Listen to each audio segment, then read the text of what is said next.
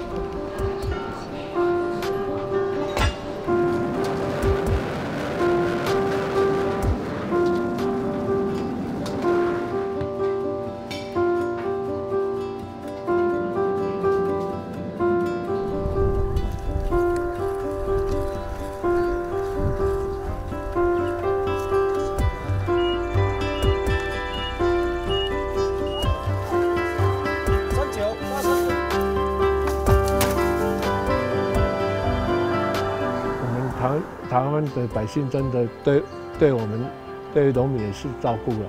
真正出意料，唔知安安尼响应他他用力，哦按按这自由凤梨嘛袂歹啊，会用加滚来通路啊，啊上好的通路是事实讲是大陆，啊你有大陆，搁有世界各国的自由凤梨，应该个通路销售应该愈大，对于台湾的几十万农民敢帮助着。